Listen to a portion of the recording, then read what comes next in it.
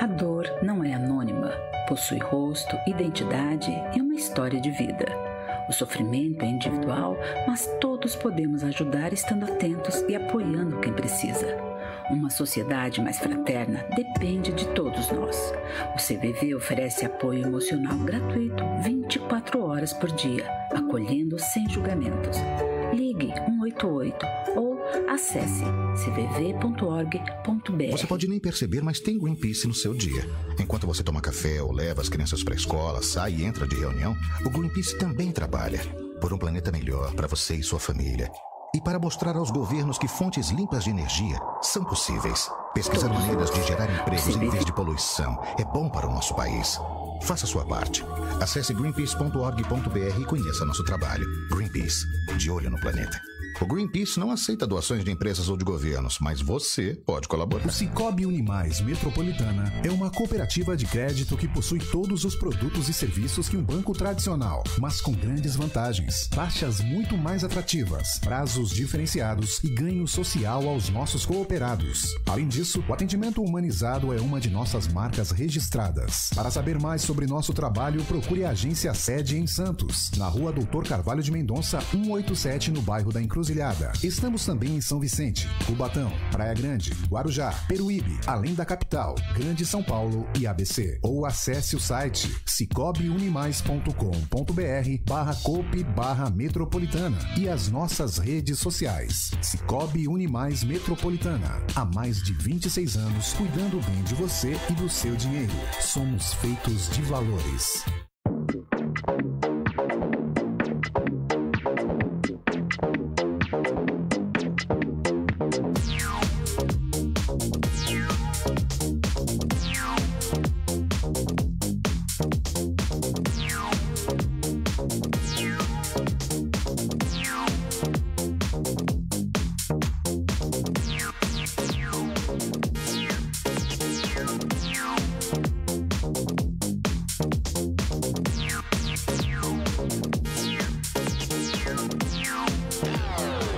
Partir de agora, Entre Linhas. Apoio Cicobi Animais Metropolitana. Há 25 anos cuidando bem de você e do seu dinheiro.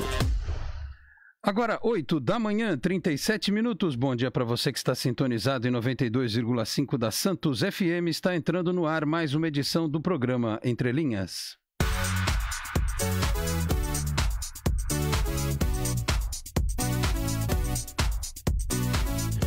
Confirmando 8 da manhã, 37 minutos. Bom dia para você que está conosco em 92,5 da Santos FM na cidade de Santos, em toda a Baixada Santista e pelos quatro cantos do planeta via internet, no santosfm.com.br, também através do nosso aplicativo disponível na Apple Store e na Google Play Store, começando a edição desta sexta-feira, 18 de dezembro de 2020, edição de número 1214 do Entrelinhas, que você ouve em reprise logo mais a partir das duas da tarde em bocnews.com, canal de áudio do Boqueirão News, um dos importantes jornais aqui da nossa região. Curta também as nossas postagens em facebook.com/barra entrelinhas no rádio. Lembrando que você pode acompanhar o programa com imagens, a live está no ar. Curta, compartilhe, mande a sua participação. Lembrando que assim que o, Inter, o Entrelinhas termina, a live fica salva. E se você perdeu a edição ao vivo, pode assistir mais tarde, se assim o quiser. Da mesma forma, pela fanpage da Santos FM, facebook.com barra Santos FM e com o link do vídeo compartilhado mais tarde pelo Boc News, que é parceiro do Entrelinhas, tanto no Facebook quanto pelo YouTube, a Boc News TV. Programa desta sexta-feira recebe mais uma vez aqui o nosso companheiro Ted Sartori, jornalista multimídia, o homem do canal Só Esportes. Hoje o Anderson Firmino pediu aquela. Aquele, ele pediu para folgar no sextou, né? Uhum. Mas a gente sabe que o Anderson nesse final de ano tá com bastante coisa para fazer, né? E bom assim, né? Bom assim, né, Anderson? Tá, tá com a gente na segunda-feira naquele boletim especial que o Anderson sempre nos deixa. E hoje o Ted está por aqui. Tudo bem, Ted? Bom dia, um abraço. Um abraço, Alex. Bom dia a você, a todos que nos acompanham pela Santos FM. Pois é, aqui um grande abraço ao Anderson, né, que certamente, apesar de estar fazendo as suas, suas coisas, deve estar nos acompanhando com certeza. E vamos falar de muita coisa hoje, muitos assuntos. Futebol em, futebol em alta, aí o Natal tá chegando, mas o futebol é, não para, né? Vamos ter Boxing Day esse ano, né? É, Boxing Day, eu é, lembrei disso. Teremos o nosso Boxing Day. Aliás, a, o Ted Sartori hoje participa do programa não só na condição de jornalista, mas também na condição de pai, né? Porque daqui a pouco eu vou entrar num assunto aqui que eu fiquei um pouco confuso. É uma coisa que não sei, não entendi muito bem, que eu ouvi um, uma entrevista logo cedo do secretário estadual da Educação é, dizendo sobre a volta às aulas para o ano que vem e tal, né?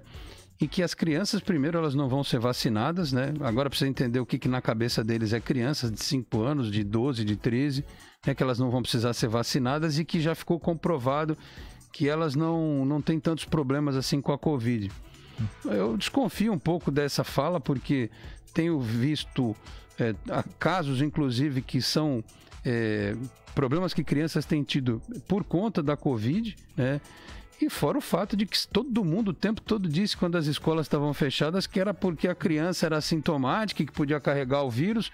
Quer dizer que agora não precisa, não carrega mais. Até mês passado, a criança que se fosse para a escola podia contaminar o funcionário, o professor, trazer o vírus para dentro de casa, contaminar a avó, a mãe. Agora não mais. É esquisito isso, né? Daqui a pouco a gente vai falar sobre esse negócio, tá certo? 8h40, antes de, portanto, entrarmos neste e outros temas, vamos prestar serviço para você que está saindo de casa. Atenção para a travessia de balsas. Informação oficial do Departamento Hidroviário Santos Guarujá neste momento. Seis embarcações operando, tempo de espera de 20 minutos do lado de Santos, 15 minutos do lado do Guarujá. Travessia Santos Vicente de Carvalho, por sua vez, tem três embarcações operando com tempo de espera de 12 minutos. E a travessia Bertioga Guarujá, outra travessia importante aqui para nossa região, tem duas balsas operando, tempo de espera de 30 minutos. informação do Sistema Anchieta Imigrantes, postagens mais recentes aqui é, da Ecovias no Twitter, informando que a restrição para carretas e caminhões na Serra da Imigrantes em direção a São Paulo, os pesados devem seguir viagem somente pela pista norte da Via Anchieta. A Ecovias informa também que o tráfego estava lento alguns minutos atrás no sentido São Paulo do quilômetro 13 ao 12, devido a acidente em trecho urbano fora da concessão da Ecovias. Né? E agora há pouco, a, a, concessionária informa que o tráfego começou a ser normalizado, né? mas há um registro de lentidão na mesma via, no sentido São Paulo, do quilômetro 16 ao quilômetro 14, também em razão do excesso de movimentos. Em relação a este acidente, por hora não temos mais informações, a gente torce aqui para que nada de mais grave tenha acontecido. Há boas condições de tráfego nas demais rodovias e a operação em vigor neste instante é anormal, 5 por 5 com tempo bom e visibilidade também é, boa para o motorista. Por falar em tempo bom, é, neste instante temos sol aqui na Aparecida. É, olhamos pela nossa, pela nossa janela panorâmica aqui do 31º andar do Praia Corporate. É, o sol é, surgindo, as nuvens no horizonte, 26 graus, possibilidade de chuva nessa manhã chega no máximo a 19%, ao longo do dia 24%, portanto teremos o sol entre nuvens, temperatura máxima chegando a 27 graus. No sábado vai ficar desse jeito também, no domingo aí a possibilidade de chuva aumenta, com possibilidade também de trovoadas no período da tarde, mas vai ficar mais quente, viu, Ted Sartori? Vai ter sol, nuvem, trovoada, mas é, os termômetros podem bater na casa dos 32 graus, portanto aí é, fique atento para o final de semana e semana que vem só vejo nuvenzinhas aqui na previsão, Ted, né? Nuvens, nuvens, chuva, chuvas. Terça, quarta, quinta será o Natal é, com o tempo mais encoberto, digamos assim, tá certo? Hã? Raining Christmas. É, Raining Christmas. É, é, quem sabe também, né? Não seja importante dar uma amenizada no clima, até para evitar que as pessoas circulem tanto, né? especialmente à noite e, e e, e, praia e coisa e tal, né? Sai para fazer a sua compra de Natal, vá prestigiar o comércio da cidade, mas depois é, é, fique quietinho no seu canto, tá certo? E daqui a pouco teremos a nossa janela esportiva com é, a rodada do Campeonato Brasileiro. Semana que vem tem Copa do Brasil, né? E por falar em rodada do Campeonato Brasileiro, ontem também tivemos na Libertadores o River Plate atropelando o Nacional do Uruguai, né? Quando eu fui dormir estava 3 a 1 Aí o Ted me informou aqui 6 a 2 então River Plate adversário do Palmeiras na semifinal. O Santos só vai conhecer o seu adversário na semana que vem.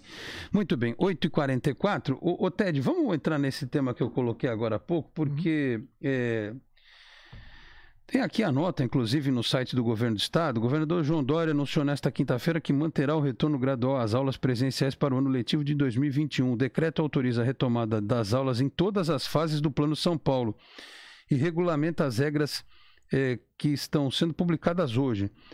É, só para a gente traduzir isso aqui. Se acontecer o pior, Deus o livre guarde. Então, é terceira vez que eu falo isso em dois dias. Se a gente voltar para a fase vermelha, pode continuar tendo aula. É, exato. É o que está dito aqui, né? em todas as fases. Então, o ano que vem pode ter escola do jeito que for. Claro que a gente imagina que isso não vai acontecer até pela questão gradual da vacinação. Mas também não é da noite para o dia que as coisas vão mudar, né? Abre aspas aqui para o governador. A decisão para manter as escolas abertas é embasada em experiências internacionais e nacionais e tem como objetivo garantir a segurança de alunos, dos professores e dos funcionários da rede pública e privada de ensino, além do desenvolvimento cognitivo e socioemocional de milhões de crianças e adolescentes do estado de São Paulo. Bonito. A frase é muito bonita. Uhum. O retorno ocorrerá de forma regionalizada de acordo com os departamentos regionais de saúde, obedecendo aos critérios de segurança estabelecidos pelo Centro de Contingência do Coronavírus. Aí aspas aqui do Rocieli Soares, o secretário de Educação. A escola não pode mais fechar. Neste momento da pandemia, as famílias precisam entender sobre o quanto é cada vez mais fundamental e importante ter os seus filhos frequentando a escola, para continuarem a aprendizagem e serem acolhidos em vários aspectos, principalmente emocionalmente. Vamos lá, Ted. É, o meu filho tem 15 anos. O, o teu, tá, o teu é, é pequenininho. Tá 5, quase 6. Então, os pequenininhos a gente sabe que eles precisam muito dessa questão da socialização, porque o adolescente ele ainda tem a questão da ferramenta online. E eu vejo lá, eles conversam, eles jogam, eles assistem filmes juntos, todos online, ele né? compreende melhor. É, eles conseguem se virar um pouco mais, né? E se precisar sair para dar um chamado rolê, alguma coisa, de máscara, rapidinho, vai e volta, eles, eles vão numa boa. Para os pequenininhos não tem jeito, a socialização deles é na escola. A gente sabe disso. Mas isso aqui, tudo que está sendo dito pelo governo do Estado, a gente sabe desde o começo da pandemia. Parece que descobriram agora a pólvora, né? É, eu, eu repito o que eu não entendo. É porque agora, em que a gente tem um aumento no número é. de casos de novo e ontem eu falava assim: semana que vem a gente vai ter o Brasil batendo, passando a marca de mil mortes por dia. Já chegou. Já chegou. Ontem, 1.054 mortes no país. É, notificadas? É, das notificadas, bem lembrados. 1.057 mortes a mais no país. Né? É, enfim, eu, eu, eu, não, eu, não sei, Ted, é, qual que é esse critério. Até então, as crianças elas eram, por serem assintomáticas, elas poderiam levar o vírus para outras pessoas. É. Agora eu escutei. os funcionários da escola. É, eu escutei o secretário numa entrevista falando assim: é, porque a, a, as crianças podem se contaminar mais dentro de casa do que na escola. Parece que cada hora muda o raciocínio. Hum, não sei. Você, como pai de uma criança de, de 4, 5 anos, você tem segurança para mandar teu filho para a escola? Não, não, não dá. Não dá para ter segurança. É porque ele fica muito com teus pais também, não é isso? Sim, sim. É, com, com os meus sogros, na verdade. Com os teus sogros, é, enfim, é, mas convive com, os, com os, os, os, avós também. Eu, eu não consigo compreender, queria a tua visão sobre isso. É, não, mas é. Não dá para entender mesmo. Parece que a, as mudanças de raciocínio vêm, vêm antes da, das descobertas da ciência, né? É impressionante como isso acontece com uma facilidade tremenda. A gente entende a a evolução da, dos pensamentos, mas nesse caso não tem o menor. Eu não vejo muito sentido. E eu acho, Alex, eu não quero ser é, leviano aqui, mas me leva a pensar que isso é uma pressão das próprias escolas, porque isso eu falo da, das, próprias, das particulares, mais até do que das públicas. Eu acho que. Eu não sei se há pais também que de repente.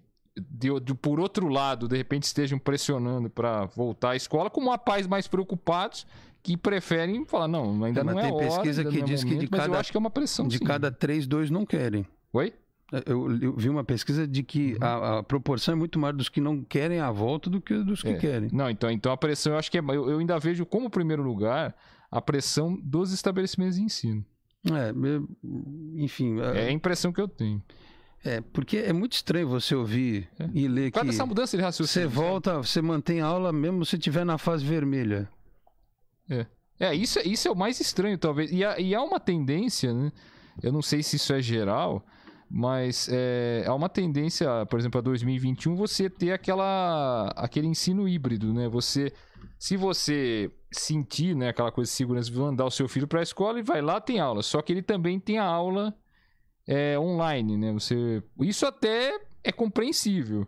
Agora, isso aí, essa, em todas as fases, isso é um completo desatino, levando em conta todos os cuidados que vem tendo até aqui, principalmente como você lembrou, quando a gente entra numa fase de crescimento de novo, que a gente até bri- brinca, né? Mas é verdade, a gente mal saiu da primeira onda, já tá na, já tem a segunda onda misturando com a primeira. É uma Enfim, pororoca, né? É, não, não, não- eu não vejo muito sentido mesmo nessa decisão.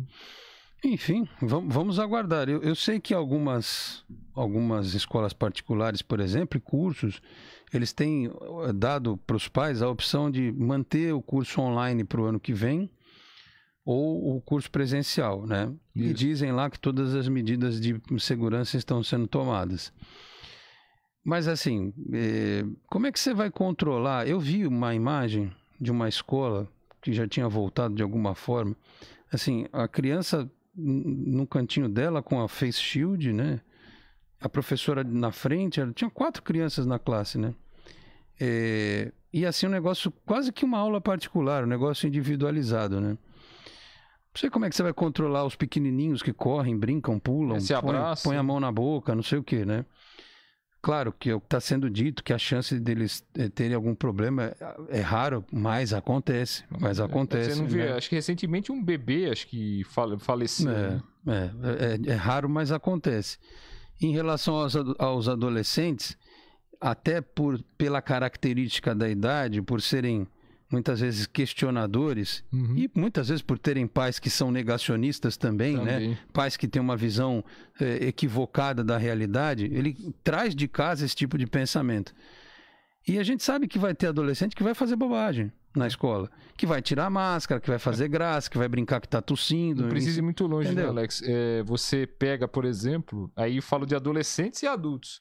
Ah, na Vila Belmiro, durante o jogo Santos e Grêmio, a aglomeração que aconteceu do lado de fora, com comemoração, com, com- imagino com bebida, né? Que também a venda estava proibida, mas estava aquela guerra de liminares, né? O, É. governo Dória proíbe, aí vai lá o, o tribunal e, e caça a liminar, vai lá o governo do estado e, e põe novamente a liminar em a liminar não, a medida em, em curso, né? Também é outra situação. Ali certamente tinham muitos adolescentes. E eu vi, eu lembro de ver uma imagem na TV, por exemplo, que tinha um, um rapaz de máscara e com a máscara baixada. O resto, um grupo assim, todo mundo sem máscara, naturalmente. É, é, bom. Enfim, é, vamos aguardar, né? É, até uma decisão difícil para nós, né? A gente fica esperando, por exemplo, o que, que a escola vai determinar. É, onde meu filho estuda, foi falado, a gente vai esperar o que o governo do estado vai dizer. Bom, pelo que o governo do estado disse, então a partir de fevereiro é aula presencial. Dá né? vontade. Não sei se eles vão manter algum esquema especial, talvez de flexibilizar um pouco algumas aulas, de manter. Eu acho que o bom senso mandaria, o Ted, que talvez se as crianças ficassem menos tempo na aula, ou uma parte você faria um rodízio. Olha, hoje você vai assistir a aula de matemática aqui, mas vai ter o vídeo e você vai, a outra parte vai ver em casa. Aí na semana seguinte troca a turma, né? Não sei, é, o que se você tem uma classe com, com, com 30 alunos, você vai ter sempre 15 na Uhum, classe. sim. Uma semana, esses 15 vão é, fisicamente, e e os outros que ficam online, na outra troca. É que nem a, é, um- a filha de um amigo meu, né? Ela, ele, ele tava me falando, ela tem acho que quatro anos, se não me engano. Ela tinha voltado da escola há algum tempo, acho que agora, esse, esse ano ainda, claro, não sei se faz dois meses, não me recordo agora. Só que eram dias é, alternados, acho que eram três dias por semana, acho que era segundas, era, não é, né? Segundas, quartas e sextas. Eu não, só só não sei como é que funcionava a terça e quinta, se era online e os outros dias eram presenciais. Eu, eu sei que ele me falou que eram três dias por semana. Também era uma outra. Eu não sei o período de aula, mas, por exemplo, online, o meu filho, por exemplo, estava tendo aula online. A aula era das. Começava geralmente às duas, ou às vezes 1h40. E até. Tinha dia que ia até 4h20, 4h30, tinha dia que ia até às 5. Quer dizer, é um período um pouquinho menor é, online, né, do que era na escola antes da Porque pandemia. imagina né? a dificuldade que é manter um esse período. Pequenininho na frente do computador, né? É. Aí tem um descanso, né? Porque você tem, tipo, você tinha duas, começasse duas horas e até três. Aí você tinha meia hora de, de intervalo, você tinha meia horinha pra comer, pra ir beber água, pra brincar. Aí voltava três e meia e continuava até quatro e vinte, ou dependia do dia. Às vezes era até cinco horas, às vezes era quatro e vinte, quatro e meia. Mas também tinha uma parte, uma parte também tinha aulas que eram, eram mais lúdicas. Você, a professor, até pela idade dele, tinha uma, uma historinha que a professora contava, ou passava algum desenho. Porque chega uma hora, né, que o professor também, também imagino para ele planejar a aula, né? Porque chega uma hora que o professor não sabe mais o que, o que fazer, né? É. Bom, é, até, até porque é, para todo mundo foi um aprendizado esse ano, né? É, até para a gente aqui, né? Coisa, né? para as outras transmissões que a gente faz, live, coisa e tal, né? Sim. O professor também, porque muito do conteúdo era interativo, né? Literalmente interativo entre as crianças, né? É, agora a gente usa o interativo mais relacionado com a tecnologia, mas não sei como é que vai ficar. É, eu sei que tem um impacto também. Eu conheço gente que trabalha com transporte escolar que o cara tá um ano aí que não consegue fazer nada, né? É um que teve que carregar a bandeirinha agora na eleição de candidato para ganhar um troco, É. né? Sei lá, virar motorista de aplicativo, sei É, alguns conseguem, mas e o cara que tem um carro próprio mesmo para só Sim. tem aquele carro, É, sim, a van tem aquele pro transporte, transporte escolar, escolar, né? É, ele não pode fazer, ah, vai fazer uma excursão, mas excursão para onde? É, pois é, não, Não, tem não- quem ir, é. como ir. né? Então, é- esse pessoal tá esperando, né? Mas aí vai vir uma outra história. Ônibus, transporte escolar, as crianças lá dentro, o cara tá dirigindo. Isso. E se a criança vai ficar de máscara ou não? Vai tirar? Como é que ele vai controlar? E Lugar sim, lugar É, não. a higienização da própria, do próprio veículo. E por aí vai. É difícil, né?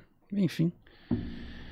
Ah, por isso que essa questão da vacina precisa se resolver prontamente.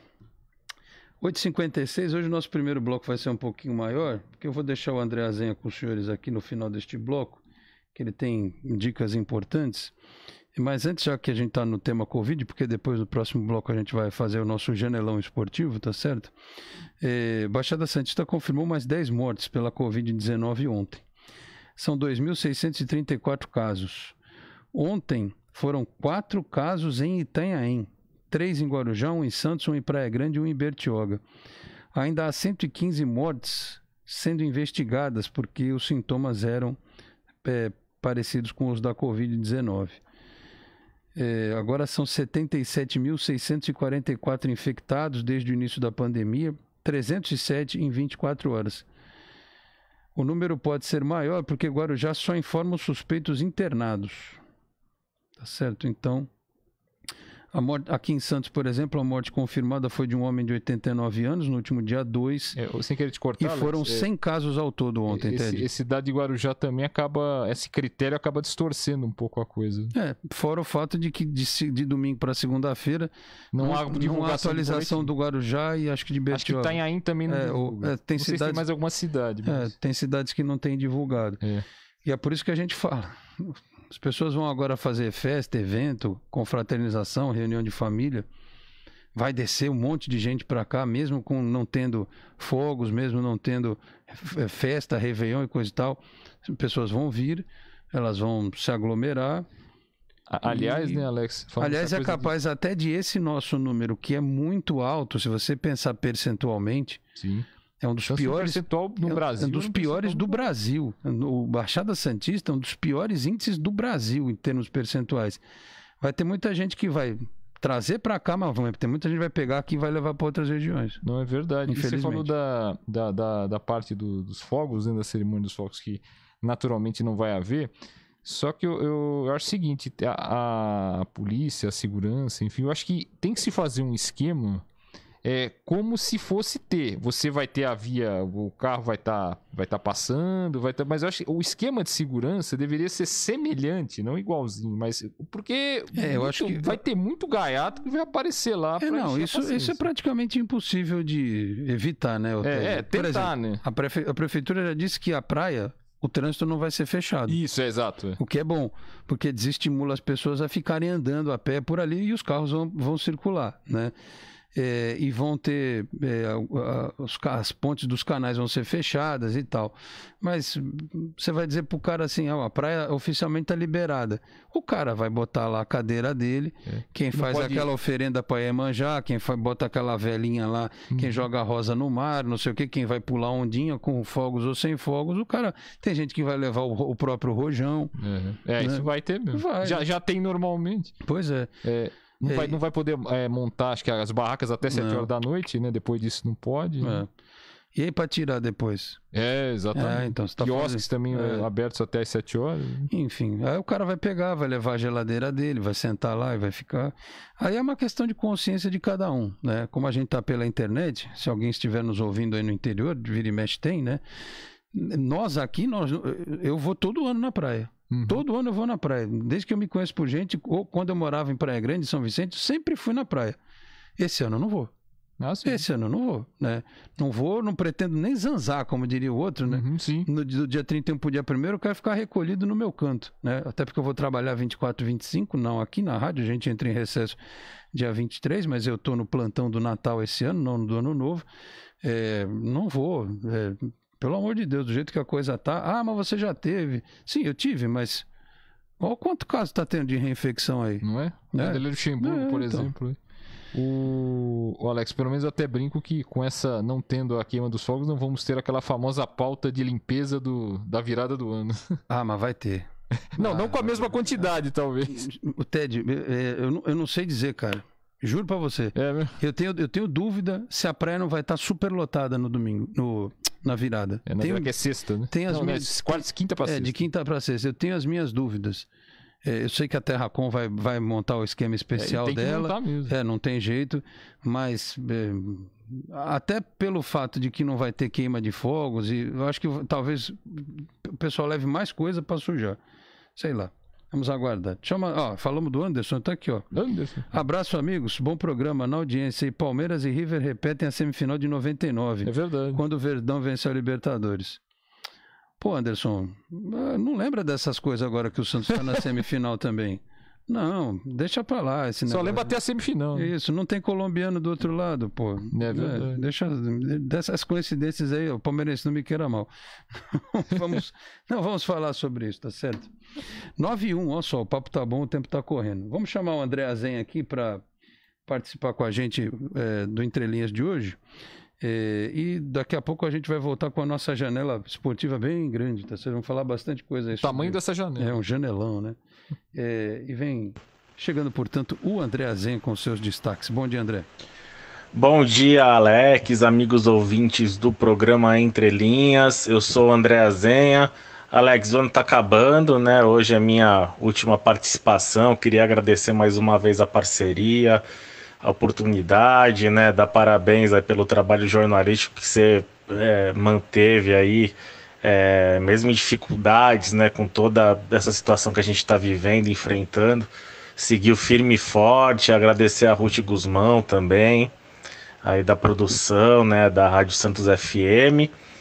E Alex, acho que fim de ano, né, para as pessoas que tiverem um tempinho maior aí para descansar, tentar descansar entre as festas, né, o Natal para quem comemora o Natal, é, o Ano Novo, é, sugerir sempre os filmes e séries aí que, que a gente sempre tem falado, né, até um ano difícil para fazer uma lista de melhores do ano, porque muitos dos filmes que eram os mais aguardados, né, tanto os filmes blockbusters como os filmes é, de caráter mais independente, os filmes que vão para o Oscar, muitos foram adiados, é, alguns foram direto para o streaming.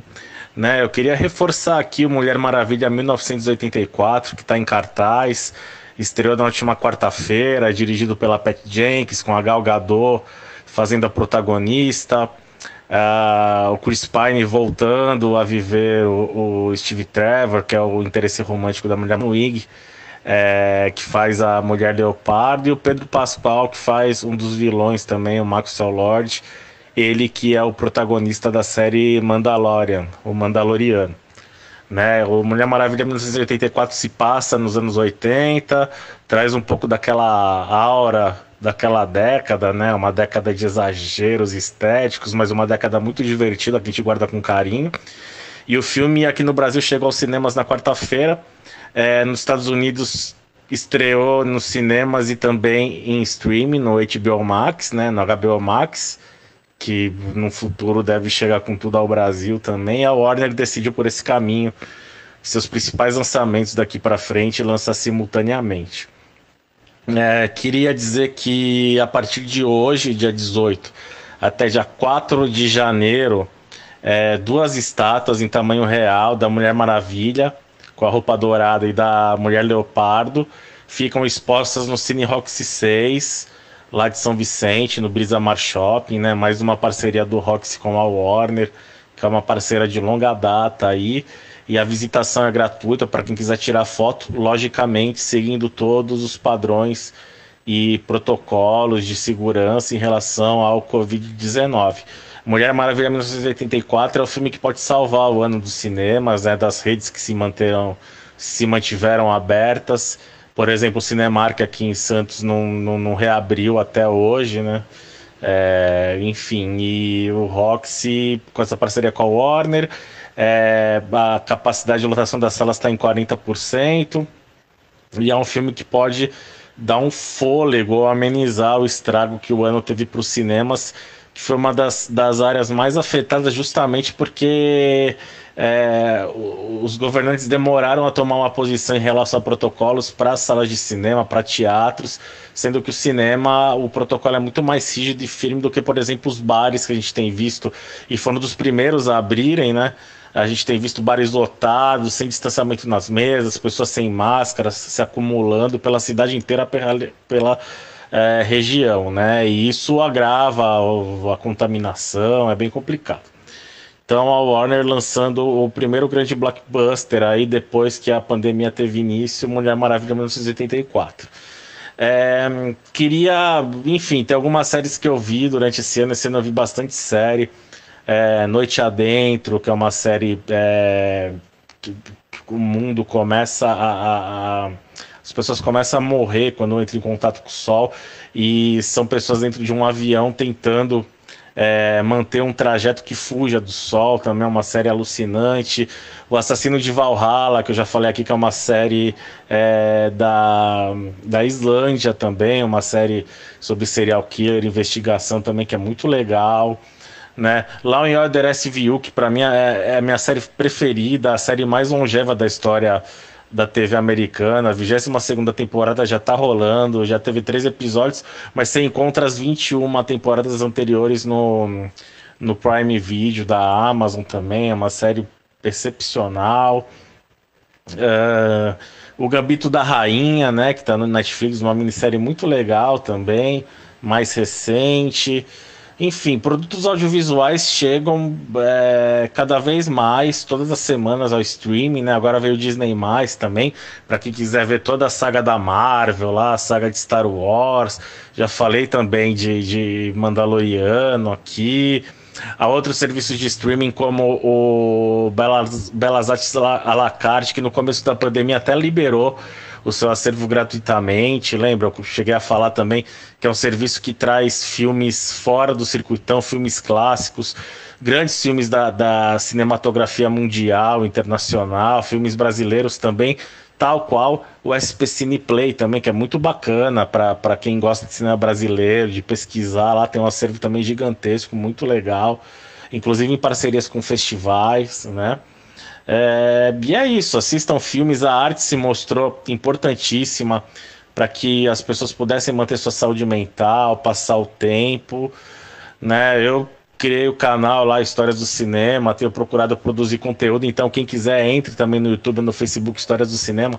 Tem várias entrevistas que eu fiz, entrevistas biográficas, entrevistas falando sobre temas variados, é, sobre cinema, cultura, quadrinhos é, dublagem, né? Entrevistei o Márcio Seixas, dublador do Batman, entrevistei o Sérgio Manbert, entrevistei a Valderez de Barros, entrevistei o Luffy Stefan, que é um cara, é um cara que faz filmes de temática LGBTQIA, a Júlia Catarini, que é cineasta, trans, é, enfim, muita gente, Angela Zoé, dos filmes do Enfield, do Betinho, André Pasquini, Paulo Betti, É, então tem um acervo mais recente sobre a história da Mulher Maravilha, que eu fiz com a Lilian Tavares, que é historiadora. Então, Histórias de Cinema se tornou um espaço para refletir, debater, registrar histórias da, do cinema e da cultura de forma geral também. Né? Então acessem lá Histórias do Cinema.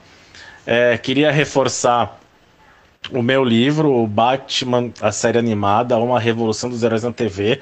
Uma dica aí, fazendo auto merchan para o Natal, quem quiser dar um presente, é um livro de 243 páginas, papel pollen bold, que é aquele papel amarelado é, mais grosso, que não cansa a vista, é, é, enfim, a capa com orelha, está muito bem produzido pela editora Amavice de São Paulo né? E que é um livro ilustrado e tá só 40 reais, assim, por, por, por, grau de qualidade, tá um livro barato, mais o frete.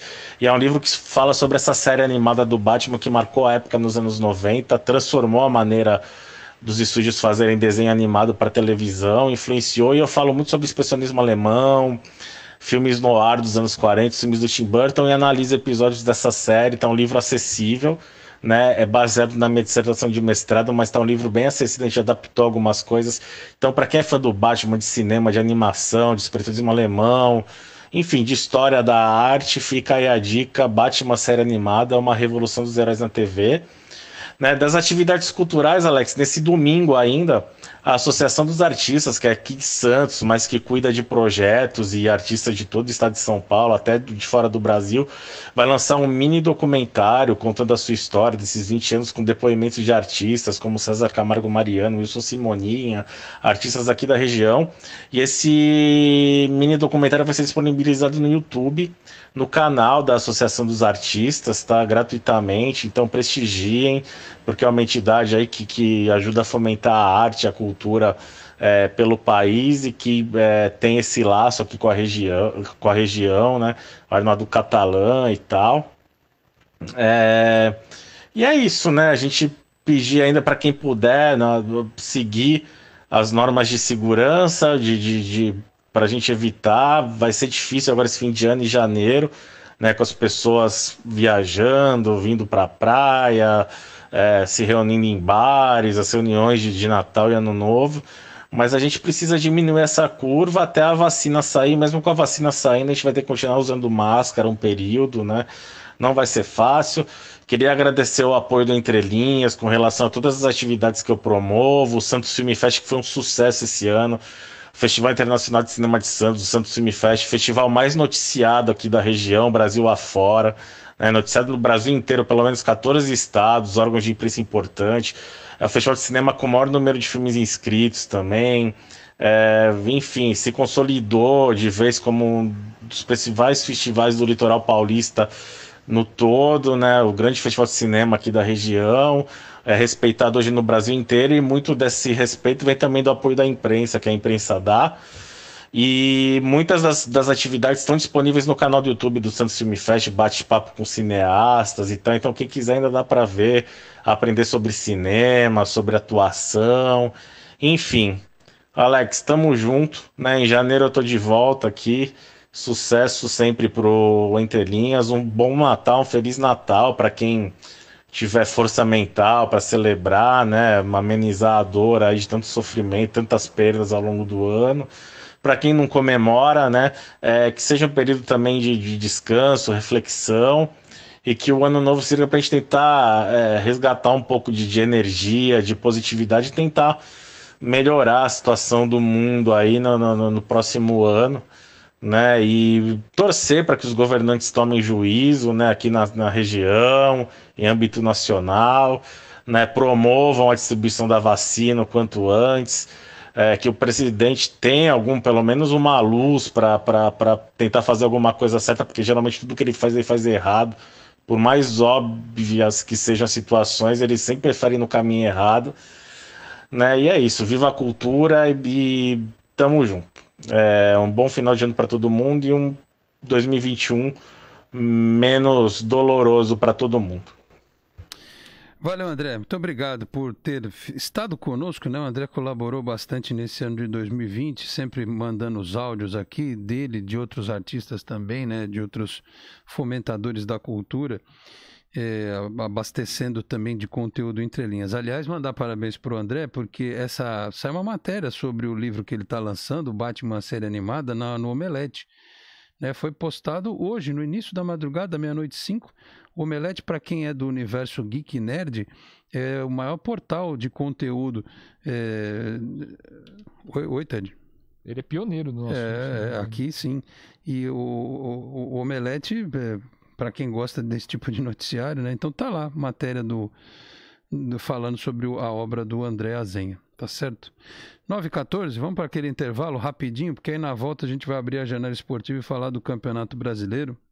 O Ted vai falar desse momento do Santos, para muitos inimaginável, né? Mas tá aí acontecendo para alegria do torcedor do Santos que já vai virar o ano na expectativa da Libertadores da América. Voltamos em dois minutos, até já. Santos FM, apoio cultural.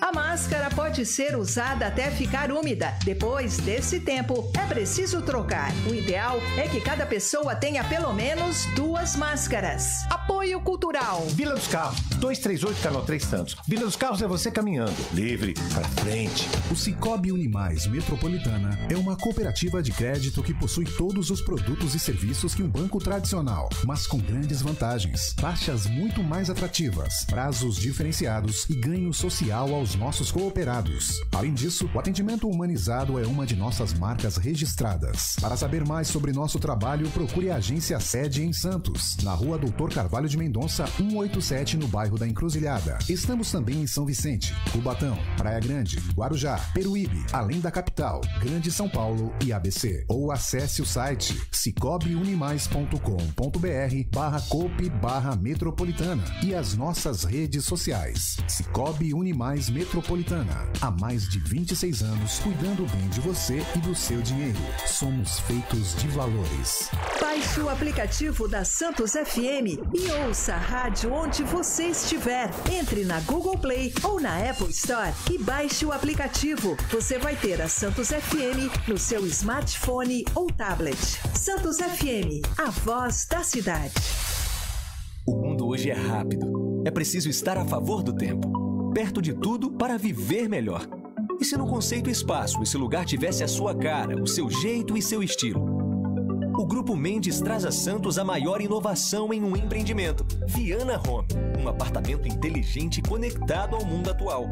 Vida digital ao lado da vida real, onde os espaços da vida urbana se encontram no mesmo lugar. Rua Lobo Viana, 19. Vendas 3513-3199. CYW 635, Santos FM 92.5. Santos FM, emissora da Associação Cidade de Santos. 92.5. Santos FM. FM. FM. FM. 9 e 17 de volta com Entre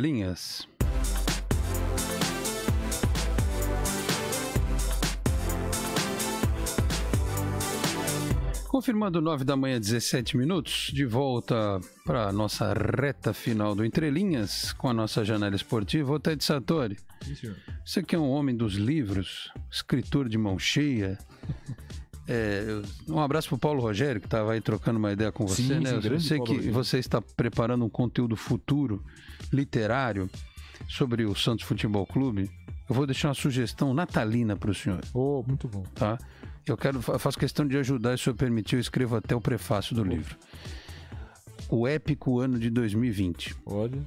Se você pegar a história do Santos, que vai acabar em 2020, se o Santos for campeão da Libertadores, Nossa. vai ser o um negócio mais absurdo, assim, em termos de linha do tempo, da história.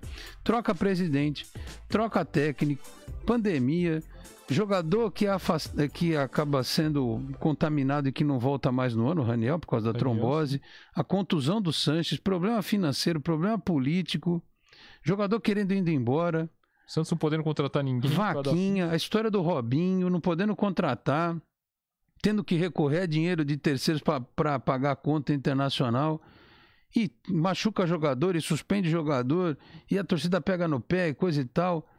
Se esse time é campeão da Libertadores, Ted. Olha, é um negócio inacreditável. Já, né? já vai, já vai pensando. Já vai. Já, dá até pra você começar a entrevistar o Pérez já. Primeiro personagem. e o Gesualdo. Também. O Santos, lá, Gesualdo, você imaginava que o Santos fosse campeão da Libertadores lá, quando o senhor foi embora, quando chegou e coisa e tal, né? Pois é. né? Dá, dá uma história aí tanto, né, Pô, Ted? que história, né? Nossa, uma história com um enredo que nem o, nem o cinema, nem a televisão talvez pudesse construir, porque é uma história de tão é, de muitos baixa, ou muitos baixos, né? E que a gente imaginava que não iriam sair dos baixos, né?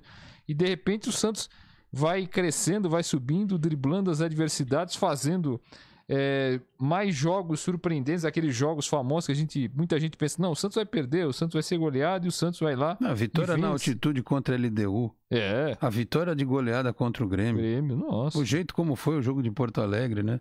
Exato. E nós temos dois capítulos prontos aí já, que são Sim. os confrontos com os argentinos. Já tem dois capítulos a mais aí na história.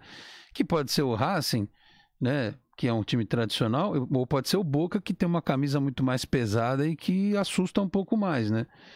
E aí, se for a final, a final é contra o Palmeiras ou contra o River. River. No Maracanã. Imagina. Em jogo único, Ted Sartori. Pra fechar uma história. Né? Você já pensou que negócio?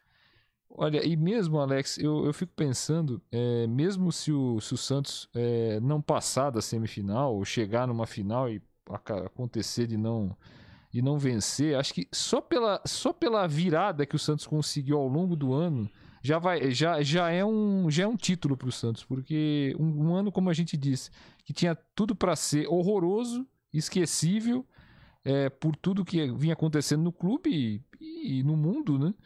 E o Santos vai lá e transforma aquilo em algo é, lembrável, né? Isso é inacreditável. É, assim, esportivamente falando, é óbvio que a gente que torce pro Santos quer que o time chegue na final e ganhe. É né? claro, é claro. É, mas Eu digo pelo, com- pelo com- cômputo da obra, né? lá na trás, Junto da obra. se, se- se- se todos recordarem das nossas, digamos assim, previsões, era o ano pro Santos terminar na primeira divisão. E tava bom demais até entrar um novo presidente. O Santos não só vai terminar na primeira divisão, como muito provavelmente vai terminar entre os sete, oito melhores do campeonato. Né? Se jogar o que está jogando até o final do Campeonato Brasileiro, deve ficar nessa posição. É, a Copa do Brasil foi uma coisa mal resolvida, né? O Santos podia ter ido mais longe. Mas aí a gente depois fica se perguntando, bom, se tivesse que jogar semana que vem na Copa do Brasil, esse elenco ia estar arrebentado, né? né? E a Libertadores, se você parar para analisar, é, o Palmeiras pode ser o adversário, em tese, seria o adversário da, da, da quarta de final, né? E, e aquele jogo contra o Ceará, se, se fosse o Palmeiras no lugar do Ceará, o Santos ia estar com um monte de gente contaminada. Foi aquela semana em que perdeu Alisson, Pituca, Jobson, Verdade. Veríssimo, João Paulo, todo mundo com Covid, né? Verdade. É, enfim. E talvez não tivesse dado certo. Mas se passasse, a pegar o América Mineiro, podia ir para a final contra o São Paulo, ou contra o próprio Grêmio. É, é, são conjecturas, né? Mas parece que as coisas se encaminharam de uma forma, porque se você olhar claramente para a Libertadores hoje, o, o resultado do River ontem a, a- a- lhe assusta, né? Pô, 6 a 2 em cima do Nacional, né? Mas eu vi o começo do jogo e o Nacional teve um jogador expulso no começo da partida, né? Sim. E já tinha sido 2 a 0 Então, eu imagino que quando o River fez gol, começou a ampliar, tipo, o Nacional entregou, né? Então, o 6 a 2 ele dá moral para o time argentino, mas ele pode ser um pouco enganoso tecnicamente. E certamente o Palmeiras, que é o adversário do River, sabe disso. E o Santos jogou outro dia com o Palmeiras. O Palmeiras teve desfalques, eu sei, mas o Santos também teve. E o jogo foi competitivo, foi igual. Né? Eu- vendo o Racing jogando contra o Flamengo e o Boca jogando contra o Inter, sinceramente, não é nada de outro mundo o Santos encarar de igual para igual e passar pelo Boca ou pelo Racing. mesmo. e se for para a final, que é jogo único, pode ser decidido o título nos pênaltis, enfim, a gente não sabe. O Santos pode ganhar do Palmeiras ou do, do, do, do River, né? Agora, em termos é, práticos, digamos assim, para quem não esperava nada da temporada, só nessa mudança de fase o Santos ganhou 10 milhões de reais. Isso. Se chegar na final, ganha mais uma premiação elevada. Tanto é que foi por conta desse dinheiro que não vão mais vender o Diego Pituca. Eu né? ia falar disso É. mesmo, é verdade. O, foi tirado da reunião do Foi conselho ontem, né, pauta, né? Deixou a- essa decisão foi deixada pro, pro presidente eleito, né, o André Zueda, que se você for pensar, né, Alex, independentemente da necessidade do Santos ou não de dinheiro, é, eu acho que seria mais adequado também, porque a gente tá tão pertinho aí do, do final do ano e o Santos também precisando do, do jogador, né, numa Libertadores volta aí no início de janeiro, né, eu acho que foi uma decisão acertada por todos os, por todos os aspectos. E outra, né? Você já com o presidente eleito, você já muda aquela situação de depender do conselho deliberativo para É, decidir vender. as coisas, né? Porque aí a coisa já é com o presidente, aí já vira o ano, a coisa já muda. É. É, Eu tô vendo aqui a matéria da Gazeta Esportiva que diz que o Andrés Rueda, presidente eleito do Santos, se reuniu virtualmente com o zagueiro Lucas Veríssimo e com o técnico Cuca ontem. É. A ideia foi falar sobre futuro e tranquilizar o jogador após o insucesso momentâneo na negociação com o Benfica. Parece até que o Benfica resolveu diminuir o número de parcelas para três, né? Ainda assim vai pagar uma em 2022, eu acho muito longe. Ah, é? E o Veríssimo teria. Ele abriu mão aí da sua parte de 15% do negócio, né? Aí até isso, na matéria está dizendo aqui o que você acabou de falar, até de a partir de 21, 2021, o Rueda não precisará do aval do Conselho Deliberativo para fazer qualquer transação. Rueda não fez promessas para Veríssimo, mas se comprometeu a avaliar com calma o futuro do atleta. Até porque, ô Ted, vamos combinar, não sei se você viu o dia que eu falei, que eu acho um absurdo, apesar de eu não gostar que a seleção brasileira tire jogadores do Santos, né? É, mas é um absurdo o Lucas Veríssimo nunca ter sido convocado para a seleção brasileira. Tudo pé de rato, desculpa a expressão, vai para a seleção. Se ele já tivesse ido, o selo do Lucas Veríssimo hoje seria outro. Ele valeria muito mais no mercado, né? Quer dizer, aí o Tite agora citou o Lucas Veríssimo numa entrevista para o Sport TV. Agora que ele tá, hein? tá com o pé fora do Santos, isso é um pouco, desculpa o termo, parece sacanagem, né, Ted? É muita sacanagem você. o- Aliás, é uma mania do futebol brasileiro, da seleção brasileira, lembrar de muitos jogadores quando eles, quando eles saem do país, né? ou estão para sair, né? ou querem sair. Enfim, mas se demorou muito, demorou muito pro Tite mencionar, assim, porque você não ouvia falar nem que a, nem, nem aquela, nem aquela notícia de bastidores, né? Ah, não, o Lucas Veríssimo tá no radar, né? Aquelas coisas. É. Nem isso você ouvia. Nada. Você não ouvia nada. E o muito menos o, o Tite falar. É, só completando, Alex, você falou da- do Andrés Rueda, né? Na segunda-feira vai acontecer a posse, né? No conselho, né? A partir das 7 horas da noite. Segunda agora já? É, dia 21. É. E por coincidência é aniversário do Andrés Rueda. Bem no aniversário dele. Aliás, uma, uma coincidência até com, os- é, com o Luiz Álvaro. Quando o Luiz Álvaro Ribeiro assumiu o cargo de presidente do Santos pela primeira vez, em 2009, né, quando ele ganhou a eleição, por coincidência, se não me falha a memória, ou foi no dia seguinte ou foi no dia do aniversário dele, que ele também fazia aniversário em dezembro. Mas vai haver a posse e eu conversava com o presidente do conselho, Marcelo Teixeira, para saber como é que ia ser essa posse, porque as reuniões do conselho têm sido basicamente o Marcelo Teixeira, a mesa do conselho e o pessoal o da restante técnica. é e virtual, é. e os conselheiros é, virtualmente, né, participando. E aí ele me explicou o seguinte, que realmente vai, vão estar o Marcelo, vão estar, vai estar acho que o Rueda, o CG, enfim, vai, vai estar quem é, tomará posse é, presencialmente e os conselheiros que normalmente lotariam ali as cadeiras do, do salão é, Vidal Sion, eles estarão é, virtualmente acompanhando, haverá acesso da imprensa, aquela limitação que já aconteceu nas eleições, né? Você tem um profissional ali por, por veículo, até porque o espaço ainda é menor do que o da eleição, mas a, os critérios são os mesmos, de higienização, aquela coisa toda, mas segunda-feira já vai acontecer a posse aí do Andrés Rueda e sua trupe. É. Dia 21, né? Dia Então, 21. Muito bem. Parabéns ao presidente duplamente. Aliás, não sei se tem visto, Ted, a FIFA tem um perfil no Twitter que é muito engraçado, né? Uhum. Eles ficam brincando com as, com as vitórias e classificações do Outro dia o Santos. Santos foi, foi lembrado. É, então, a última foi assim, será que o Bayern de Munique tá tremendo diante do Caio Jorge do Di Marinho? Eles ainda escreveram assim, Marinho. né?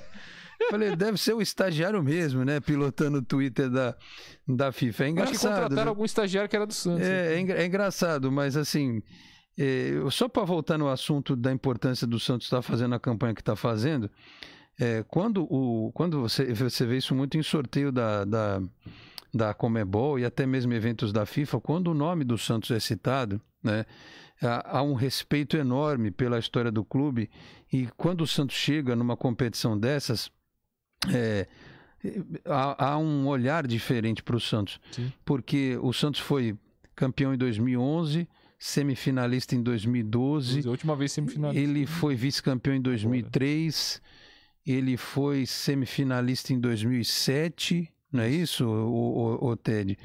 É, em outras temporadas chegou em quartas de final também. É, o Santos teve um aproveitamento muito bom na maioria das é vezes. Difícil, o Santos não fica na primeira fase, né? É, é, só em 84, talvez. É, foi aquela vez contra o Flamengo. Então, o histórico do Santos em Libertadores é, é, muito bom, né? De, de chegar em fases agudas e tal.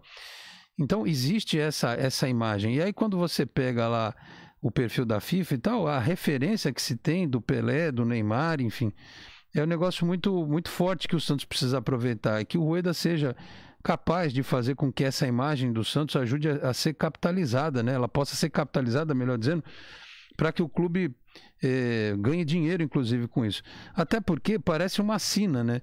O Santos, quando foi pegar o Barcelona lá no Mundial de Clubes, pegou o maior Barcelona de todos os tempos, que era o Messi no auge e com o Guardiola fazendo o tic-tac a rodar de uma. Aliás, eu digo que uma... aquele Barcelona de 2010, 2011 foi o maior Barcelona, é o maior time da história do futebol depois do Santos de Pelé. Desculpa os outros, tá? É o Santos de Pelé, o Barcelona do Messi do Guardiola 2010, 2012, e aí depois pode vir outros aí, vocês coloquem quem vocês quiserem, terceiro, quarto, quinto lugar, né? E aí por luxo, se o Santos ganhar a Libertadores e for pro tal do Mundial, vai pegar só o Bayern de Munique que enfiou sete no Barcelona que é outro, é dia, vai, um e que e teve ontem eleito o melhor jogador do mundo, que é o Lewandowski na temporada. Só isso, né? O Santos dá uma sorte também, viu, Ted? a, so, a, sorte do Santos, é, ela, ela chega num momento que ela pega, você vê mal comparando, né, Alex? É, em 2012, por exemplo, quando o Corinthians foi, foi campeão do mundo, pegou um, um Chelsea totalmente diferente. Um Destroçado, né? Oi? Não tinha mais o Mourinho. Exato. Um monte de jogador machucado e coisa e tal. É. Era um arremedo de Chelsea, é, né? Eu não tô falando isso para minimizar nada. É, não, é realmente é uma coincidência. Corintianos que não fiquem bravos, mas é verdade, né? É verdade. Se você pegar o Chelsea que foi campeão da Champions League que entrou em campo no Mundial de Clubes, mas até aí é problema. Eu tô torcendo para que o Bayern de Munique fique preocupado e mande o, o time C lá jogar os moleques muito, é muito mais fácil, né?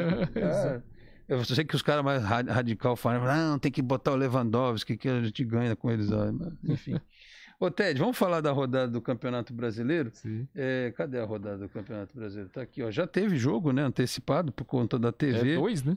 É, dois. O, o São Paulo, assim, os palmeirenses e os corintianos ficaram bravos comigo, certamente, mas os São Paulinos vão gostar do que eu vou é, dizer. aliás, tem uma piadinha que eu li, Alex, hum. sobre isso, né? Que o, é, é, os, os palmeirenses e os santistas estão contentes com a Libertadores.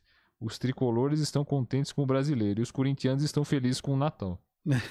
Ou com o pagamento da dívida da Arena, também é, vi essa, né?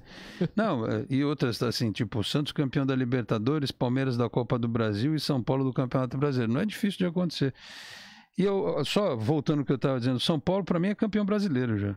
Só, porque assim, torneio de ponto corrido, o time precisa despencar muito o rendimento dele para ele, com a vantagem que o São Paulo tem hoje, para ele deixar de ser campeão. É claro que o Flamengo tem dois jogos a menos, o próprio Palmeiras, mas assim, o Palmeiras tem que jogar, o São Paulo tem que jogar mal, cinco, seis jogos seguidos para não conseguir o título.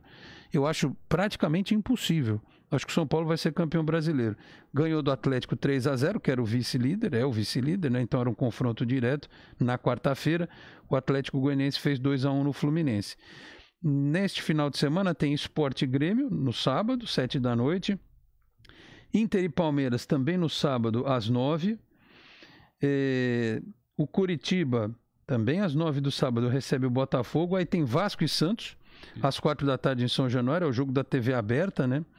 Uh, Bragantino e Atlético Paranaense também às quatro. No domingo às 6h15, Flamengo e Bahia. 8h30, Fortaleza e Ceará. E o Corinthians joga na segunda-feira contra o Goiás.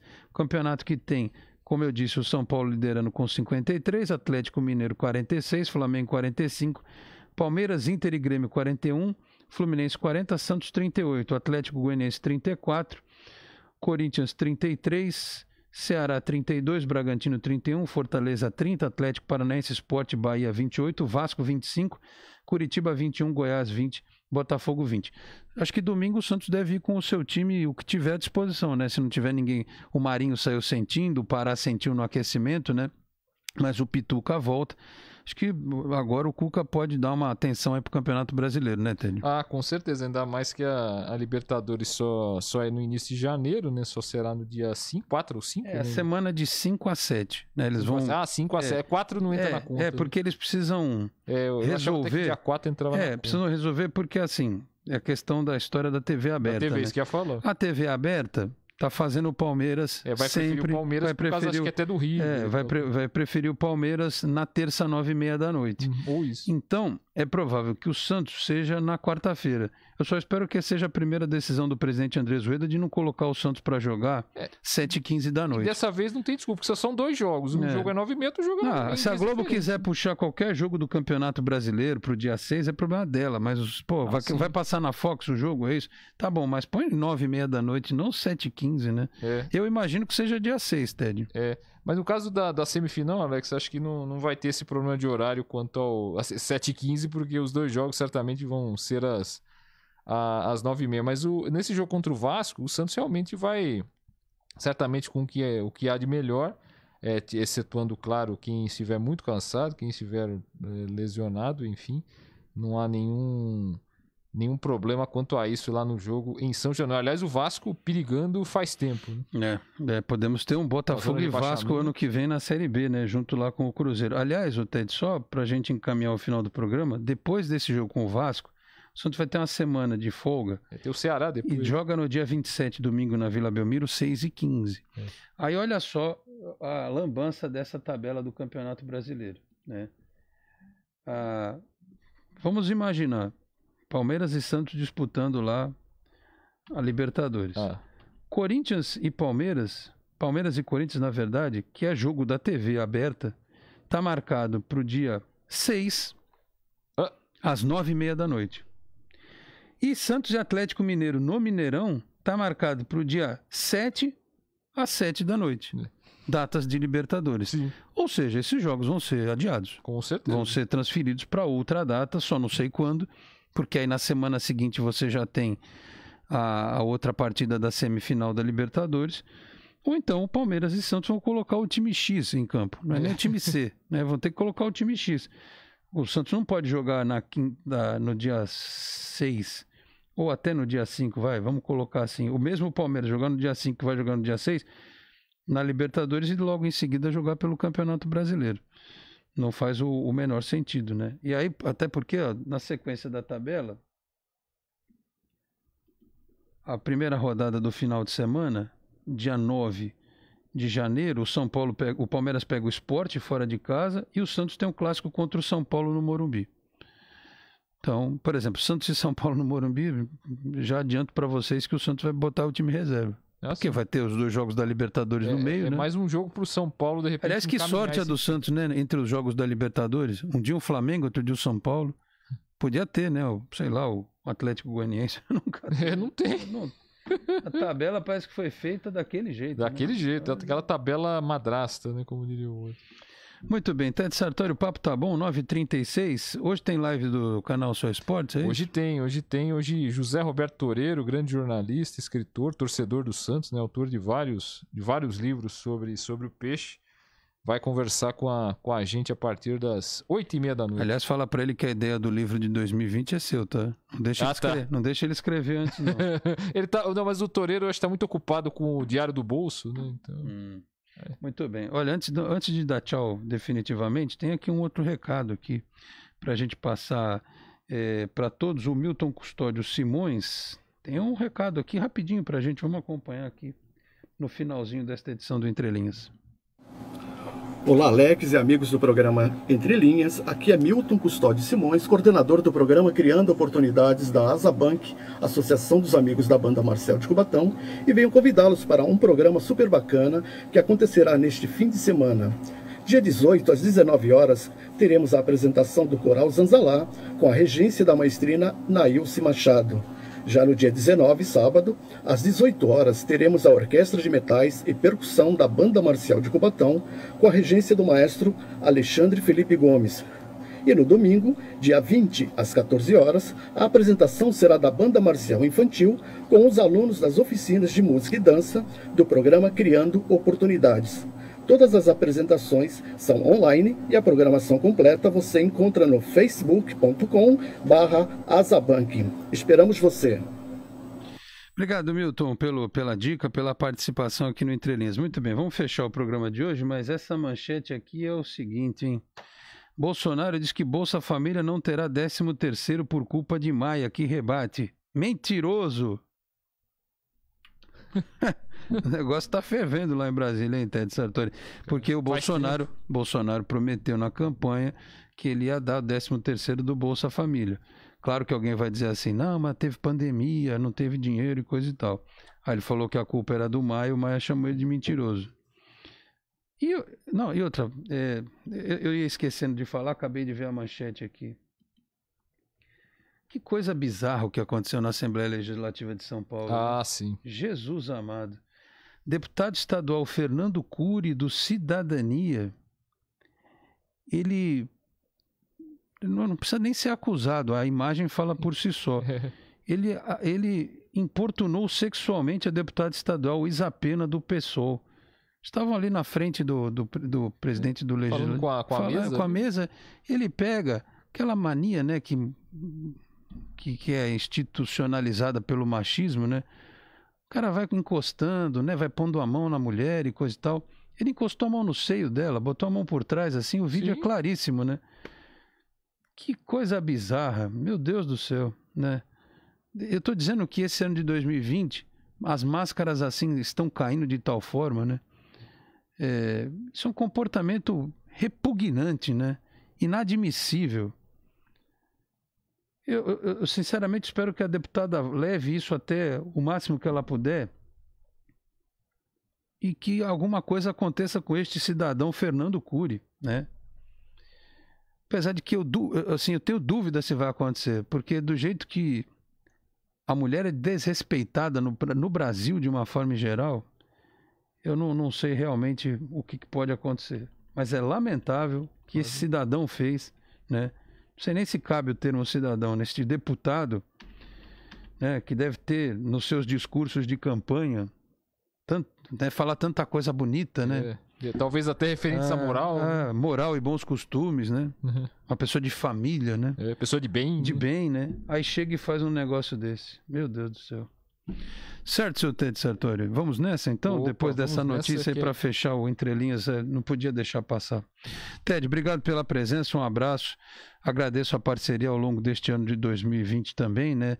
Tanto de forma remota como de forma presencial, depois que voltamos a contar com a presença dos amigos aqui no estúdio. Desejo a você e à família um feliz Natal, um grande 2021 e a gente tem compromisso só dia 28, né, Ted? Mas não é aqui. É, Nós é temos um outro compromisso aqui dia 20. Que vem, né? Ainda vou, vou, vou, poder desejar feliz ano novo para o Ted em, outra, em outro momento. Mas aqui no Entrelinhas ficam os votos. Tá certo, meu amigo? Obrigado pela presença, um abraço. Ano que vem estamos aqui com fé em Deus firmes e fortes. Com certeza, Alex. Muito obrigado pelo, pelos votos, são os mesmos para você, para toda a sua família e de um grande Natal. E, um, e votos que eu estendo a todos, né? E você falou de máscaras caírem, né? As únicas máscaras que não tem que cair são, as, são essas que a gente é. usa aqui, que essas não podem cair é, de jeito nenhum. E um grande abraço a todos, né? E até, até 2021, né? É isso aí. Aqui no Entrelinhas, Ted Sartori voltando em 2021, tá certo? Muito bem, 9h42. Fechamos assim esta edição do Entrelinhas, que você ouve em reprise logo mais a partir das duas da tarde em bocnews.com, canal de áudio do Boqueirão News, um dos importantes jornais aqui da nossa região.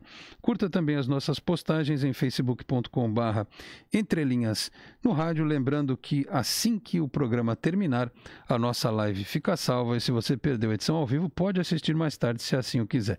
Da mesma forma pela fanpage da Santos FM, facebook.com barra Santos FM e com o link compartilhado mais tarde pelo Boc News, que é parceiro do Entrelinhas no Facebook e também no YouTube, a Boc News TV.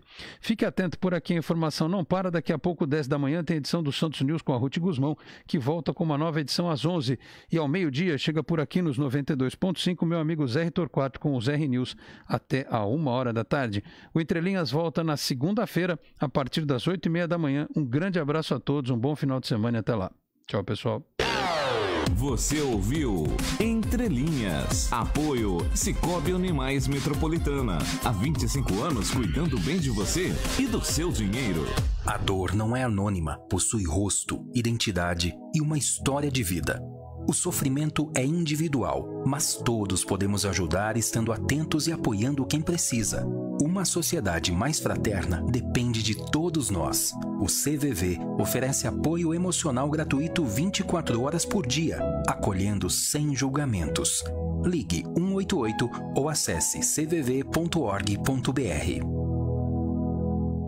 O Cicobi Unimais Metropolitana é uma cooperativa de crédito que possui todos os produtos e serviços que um banco tradicional, mas com grandes vantagens, taxas muito mais atrativas, prazos diferenciados e ganho social aos nossos cooperados. Além disso, o atendimento humanizado é uma de nossas marcas registradas. Para saber mais sobre nosso trabalho, procure a agência sede em Santos, na rua Doutor Carvalho de Mendonça, 187, no bairro da Encruzilhada. Estamos também em São Vicente, Cubatão, Praia Grande, Guarujá, Peruíbe, além da capital, Grande São Paulo e ABC. Ou acesse o site cicobiunimais.com.br barra coop barra metropolitana e as nossas redes sociais. Cicobi Unimais Metropolitana. Há mais de 26 anos cuidando bem de você e do seu dinheiro. Somos feitos de valor.